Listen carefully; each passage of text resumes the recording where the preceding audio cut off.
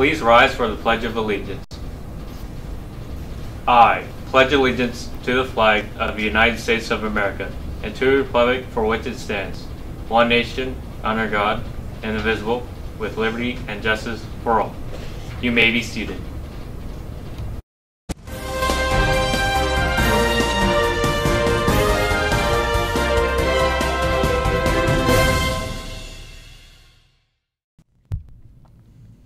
Good morning, Falcons. I'm Lane Oak. And I'm Tony, and here are your morning announcements for Tuesday, May 23rd, 2017.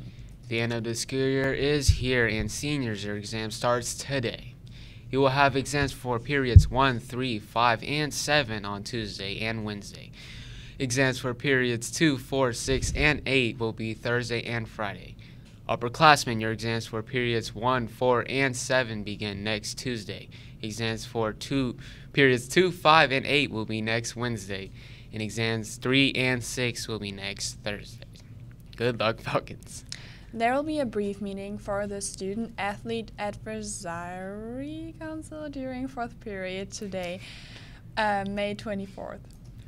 The final meeting of the school year for the Muslim Student Association will be this Wednesday from 3:30 to 5 p.m. in the room 2213. Everyone is welcome.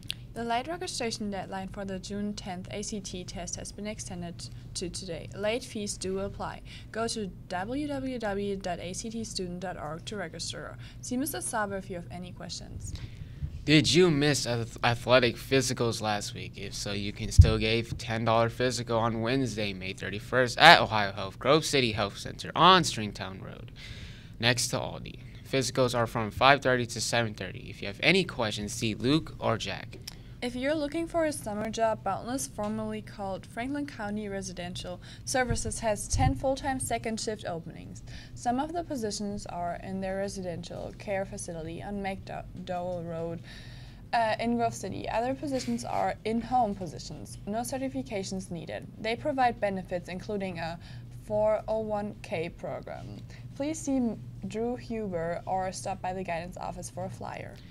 Seniors, if you ordered a cap and gown pictures, they are in the main office. Please stop by before or after school, on your lunch, or between classes to pick them up from Miss Dryden. The next Color Guard clinic will be today, May 23rd, from 7 to 8.30 p.m. in the band room. The clinics will focus on movement and flag spinning skills and preparation for Color Guard performances in the fall with the marching band. All returning members should also attend. Remember, you can purchase a 2016-2017 yearbook for only $32 without a name stamp. There will not be extras. So make sure you see Miss Sheldon if you, so you don't miss out. Also, if you would like to add a senior message in the yearbook, there is still space. Send messages or memories to Miss Sheldon at chelsea.sheldon at swcsd.us to reserve your message spot. Juniors, Monday, July 24th through Friday, July 28th, you will have the opportunity to retake any end of course exam. If you have a score of a 1 or a 2 on any exam and you need more points for graduation, this is a great opportunity. See Mr. Saber or pick up a registration form in the guidance office. Now here's Chris and Austin with today's weather and birthdays. Good morning, Falcons. I'm Chris White. And I'm Austin Leedy with today's weather and birthdays. Today we partly cloudy with a high of 76 and a low of 57. Wednesday we will have a high of 71 and a chance of thunderstorms throughout the day. Thursday we will see sat- scattered showers with a high of 68. We'd like to wish a happy birthday today to Abigail Harvey and Elijah Taylor.